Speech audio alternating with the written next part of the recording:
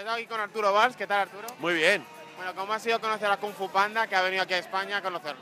Pues ha sido una, una sensación muy fuerte porque yo conocía a- al, al León del Rey León, pero a, a- a Panda de Kung Fu Panda no.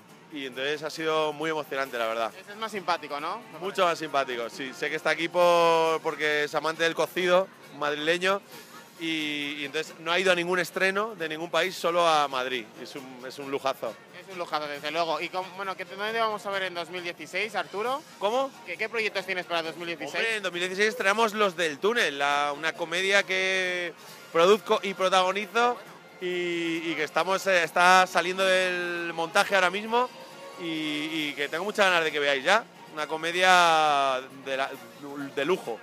¿Para cuándo la queréis tener? ¿Para cuándo la estrenáis? Yo creo que ya septiembre nos iremos, probablemente, sí. sí. ¿Y cómo es el papel de productor? ¿Cómo ha sido ese papel? Pues, pues, hombre, eh, con más trajín que el, de, que el de actor, porque cuando vas al rodaje de actor haces lo tuyo y te vas, pero aquí tienes que estar pendiente de, de todo, absolutamente. Entonces hay más presión, claro. Bueno, yo espero que te salga muy bien y que sea un exitazo. Hola amigos, soy José Luis Perales. Un saludo para movis.es.